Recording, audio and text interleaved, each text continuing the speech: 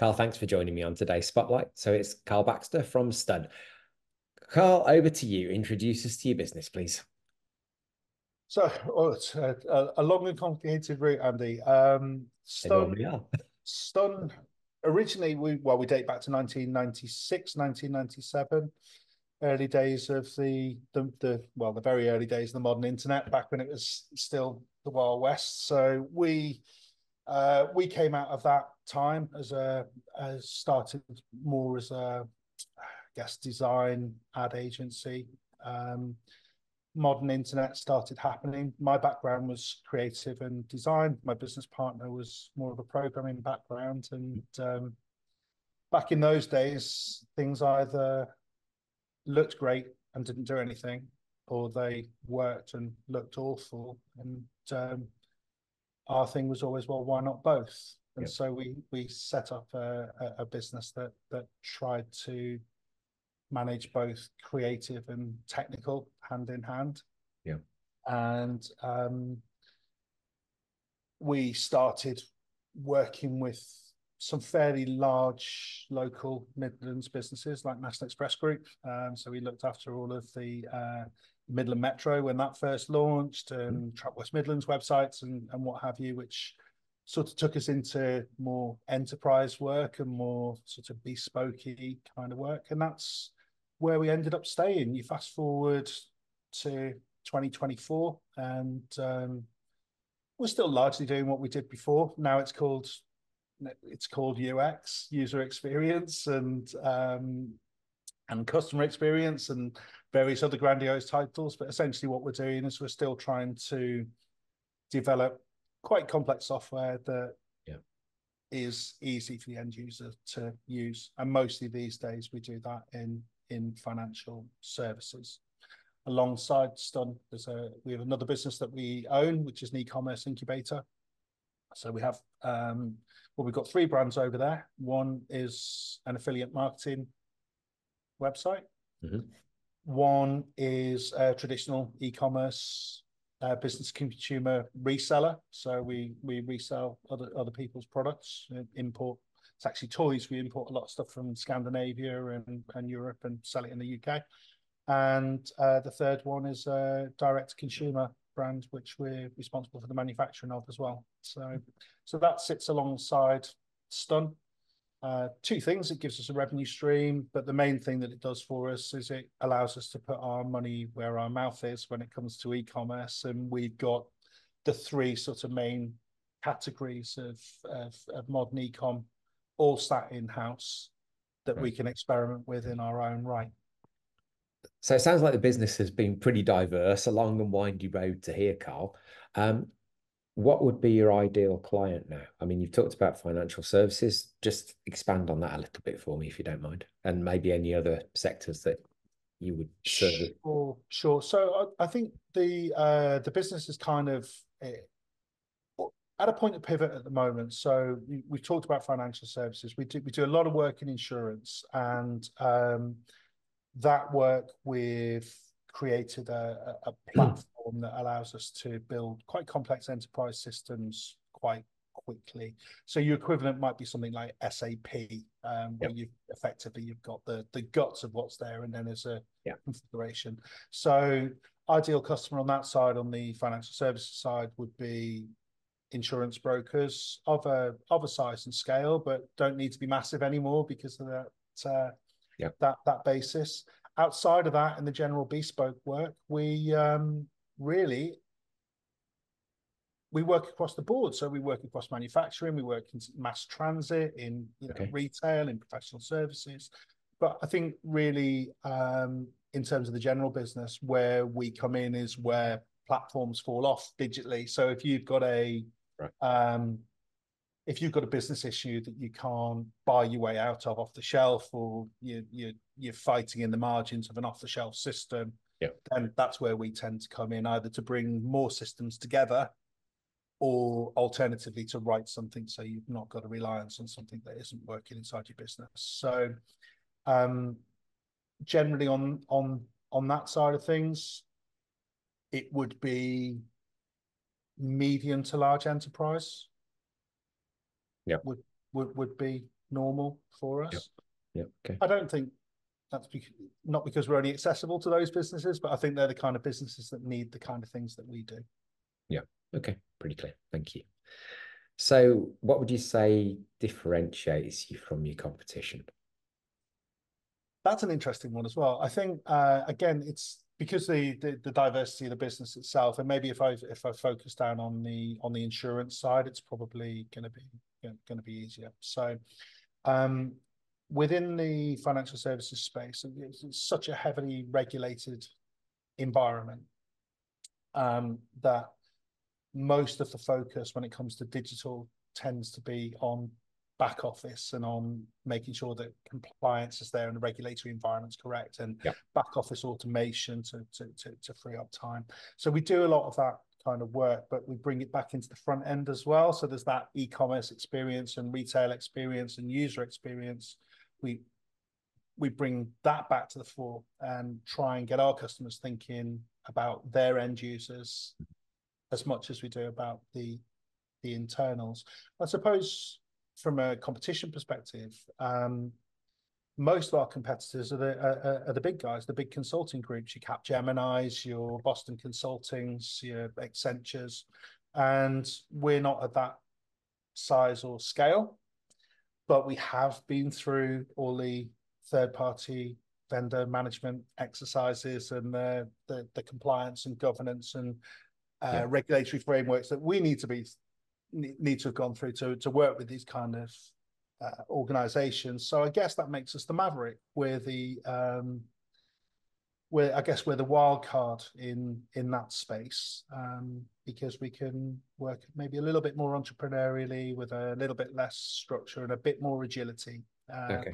A little bit more like an in-house team. So I think that's probably that's probably main point of differentiation for us. Yeah.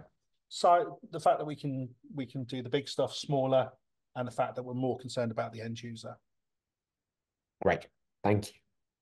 So here we are. What's the aspirations for the business for the next five years then, would you say? Well, to, again, touching on that pivot, we're um, we're in a really quite an exciting time at the moment with with with the business. Mm-hmm. Um, mm-hmm. My partner and I are probably more tightly involved than uh, than, a, than, a, than a coach might like to hear at, at the moment. Um, but I think because of this pivot, we feel like we need the the intimacy with all aspects of the of the business. So we're working very hard at the moment. Um, deep inside the software, deep inside customer requirements, deep inside sales process, deep inside pricing. You know the whole the whole set of uh, the whole gamut of of um, business processes we're, we're, we're quite heavily involved in. Um, aspirations for that certainly over the next Uh, uh, actually more like three years than five years is to really get the sales process solidified and get as much of the onboarding processes and project and program management processes systemized as as we can. So that can become I guess we, we we can provide training manuals for it, we can provide documentation for it, and we can provide training for it to to take ourselves away from the coalface a little bit and and give that business the opportunity to to scale. Um, one of the really exciting things about this pivot for us actually is that we've always been a projects business. So um, fortunately, we've been more feast than famine. Um, but there hasn't been the recurring revenues that some other businesses will will enjoy. We've not really been uh, afforded that luxury. So if we can develop scale on the financial services side of the business, because there's a licensing model behind it, um, we can quite quickly get to a, point where the, business is into a, a position of profitability without the professional services element of what we do. So that licensing element um, will cover cost. And if that's covering costs in and of itself, it then really gives us the opportunity to invest inside the business on on on product development and give us huge flexibility to to just to just to be the best that we can possibly be um, because the um, the external work just just it basically just becomes bonus cash, um, which obviously helps everyone. You know, I'm not I'm not being flippant about about that, but if we if we can drive a business where the recurring revenues and those predictable revenues, the license revenues, are covering the cost of that business, that business can be an amazing business, and that's really what we're looking to do. Great, thank you. So Next point then, what would you say your biggest learning has been since you've been a business owner in this journey of 27, 28 years? That's quite a challenging one. I think the biggest I think the biggest learning actually is that that moment of realization that even if you feel like you're a nine out of 10, you can't be a 27 out of 30. If you're a nine out of 10 in three areas, you're a 21 out of 30 if you're trying to do all three of them. And I think the sooner that you accept that and try and limit yourself as far as possible to your strengths and your leadership, then the sooner you're a happy business owner. That's pretty succinct. yeah, agreed. Great. So over to the biggest challenge then. What's been the biggest challenge you've uh, encountered, and how did you overcome it? Um, we've had the same challenge a few times, actually, Andy. This this is a really interesting question for me because um, the the real challenge for us has always been our industry as a barometer industry. So we've always needed diversification of the client base. So, for instance, you know, if you niche down into travel, and COVID happens, no one's traveling, nobody's booking accommodation. You're the, you, you know you're the first one to go. However, if you're working in travel and healthcare in a in a COVID situation, you've got those tipping points there. So so we've always had the challenge of being a barometer business, and it's you know over a few over a few issues. So you go back to Credit Crunch was was the first really major one. We were working with a couple of really quite large enterprises. Um, they were struggling because of the state of the capital markets and the state of the financial markets, and therefore everything's getting reined in. We were too small, either too small a business or too few large clients that that we we were hit really really hard by that, and you know involving restructuring and. Uh, we, we were fortunate. We, we never we never lost our people and we never lost our, our customers, but we very nearly lost our livelihoods and houses were on the line and you know all of that mm. all all of that stuff. Um, and then of course the same thing happened with with COVID. Yeah.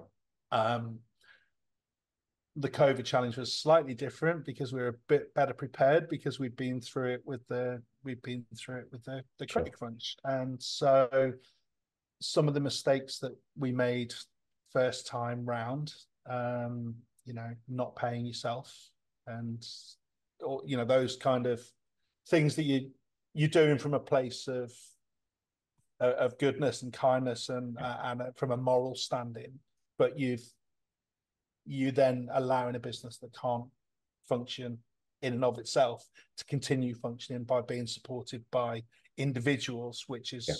which can't be done. So you know, this time we we've always been a sort of a debt free business. We've never run, we've never run on credit. Um, but when COVID came round, I instantly shored up the balance sheet. We we used the financing and the funding that was available, and we we put an extra six months behind us to give us the time and the breathing space to allow us to think about what's what's next.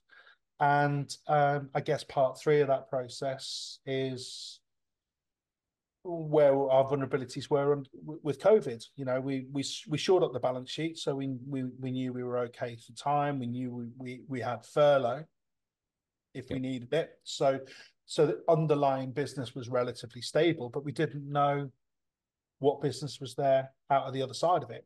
And what we did know was again the the, the companies, the businesses that we were working with, um, including the large ones. It wasn't just the it wasn't just small businesses being scared. Everyone's like, right, sure up the balance sheet. Any any special projects either getting shelved or or paused.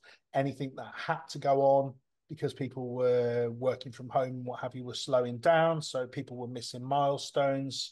You waited for assets and inputs that you can't hit another billion milestone until you get the inputs that you need to do the work. So every everything slowed down. And um, so I guess the, the the challenge and the learning from that again is again how can you protect yourself from from being a barometer business, and that then leads us into this recurring revenue model that we're trying to achieve now to to to really you know put those um, uh, put those fortifications up around the business for for for what might come next. Yeah, absolutely understand. Um, great. If you were sitting here with the uh, knowledge that you have now, having a conversation with your 18 year old self, what would you say? Before you go running off building a world class development team, go and run off and build a world class sales team. Uh-huh. and I'm still trying to give myself the same piece of advice now as a, as a 49 year old. we've we've always been fantastic operationally, and um, we've uh, we've we've never put the uh, the sales structures in place, and it's made you know it's one thing that um, we've got a we we've always had a business that we we know well, and the dynamics of the business are great because the personalities within the business are, are all you know birds of a feather effectively. Yeah, yeah and and so that makes for quite a happy um, work environment. However, um, I think if I'm you know being brutally honest about about business structure, um, you know obviously clearly we've got those processes in place, but we outsource and you know uh, some bits are automated and yeah. you know, using using maybe maybe more fragmented strategies than you would do, and and consequently the the the results on that side of the business aren't they're fine, but they're not as good as the bits that we really focus on by on that internal team building. And I think um, I, I, I think from really quite young, I sort of feel like we could draw a good business on paper. Um, but I think if I could have the whole lot over again, I'd be much quicker at getting from the paper exercise to the hard reality of putting those those bombs on seats and putting the right bombs on the right seats quickly. Mm. And I think you know I think that's definitely advice I'd, I'd I'd give to myself. Great. Yeah, I think that might be advice that a few people would give to themselves actually. Yeah, and it's but I think it's you know it's really easy because you, you know, it, I wasn't much older than 18 when I started doing this. You know, yeah. So, you know, it's 20, 2021. And um, I didn't start a business because I wanted to be a businessman. I started a business yep. because I was good at something that I was passionate about. And it's people. we allowed ourselves to morph and change as you, you know, you so you learn you're learning industries and opportunities are arising and you you're taking those opportunities and they're taking you off in different pathways. You know, as I, I started also was interested in doing was music industry, and then before I knew it, we we did a night we did a night bus flyer for Travel West Midlands, and next thing you know, we're the biggest e-commerce guys in public transport for five years. It's like you know, so these these things sort of happen yeah. to you, and it's the the sort of learning learning on the job. We did get some mentoring, and um, we were quite fortunate. There was there was some free, you know, sort of free funding about. So we we, we settled through the Prince's Trust. So yeah, yeah. there was a network, a network around us, which was which was great. So the you know the financial discipline was was always there. There was you know the accountant was there from the start and mm-hmm. that kind of stuff. So we got we got that stuff right, but um, we we never really had the help with with structure, and then you you kind of get yourself into a modality and a way of working that over time becomes in, entrenched. And um, we got a lot of it right, but not all of it. Yeah. Okay. Cool. So if you had to wrap all that up in a nice little present and put a bow on top, um, what would be the one piece of advice you'd give to the other business owners watching this? Just one. It's hard, isn't it? Oh.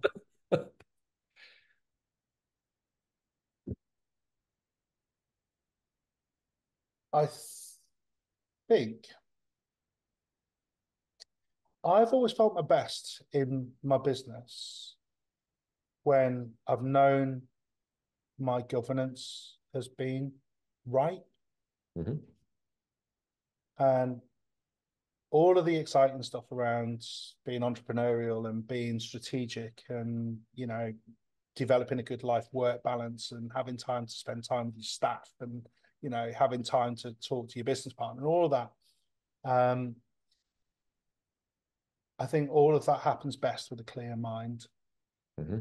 And I think the clear mind comes from good governance. So racing to get yourself six months operating costs in the bank, racing yourself to make sure your tax payments are automated, your your accountancy schedules are all done, and just that real sort of background stuff that creates so much white noise and so much stress. Mm-hmm. Um, I think if I package it up, all of it up, so the times when I've been at my best is when that's been at its best. And the times I've been at my worst is when that's been at its worst. Yeah, agreed. Yeah, great answer. Thank you. So your website details are going to be sitting underneath this video for everybody to go and dig around in and find out more about what you do. What would be the best next steps, Karl, in terms of somebody who's interested in finding out more about that? Uh, to talk to talk to us, well, yeah, I mean the website the website gives a a, a reasonable idea of what we do. Um, it's it's always a challenging narrative for us because there's different kinds of businesses that we work with, and we work with a lot of different kinds of business challenges. And you know, sometimes we're talking to marketing people, sometimes operational, sometimes IT, and all of that kind of gets lost in the mix. Um, what we actually do is we solve problems, and we solve problems digitally. And um, best next step is is to talk to us. What we um, most of the work we do is quite complex, and um, so us getting to quotes and estimates and what have you is it tends to be quite a big process. But what we we do like to do, and we'll always do, as a as a board and as directors, is we will we'll give our time and plenty of it, just to chew the fat. So on what those opportunities might be and what the options might be. And we're always happy to pass that experience on, whether that means you're working with us or not. You know, if um, the amount of people are turned away for e-commerce when you know you don't need bespoke Shopify will do you fine. Go and spend $79 a month on that. Don't spend 79 grand on me, you know. And so we will give that advice if that advice is is timely and provide those roadmaps as best as we can. So um, I guess that's the that's the best way to engage with us is you want an open dialogue and you know a genuine conversation about where you are. We'll provide genuine feedback whether that's right for us at the time or not. And if you like what you hear and want to work with us great. If somebody else needs to hear it tell them and we'll we'll help them instead. Perfect. Great answer. Thank you. Karl some great insights today. Thank you very much for sharing them with us um, yeah, great. You. Best of luck with the pivot. And yeah, um, yeah thanks very much again. Enjoy the rest much. of the sunshine. Cheers.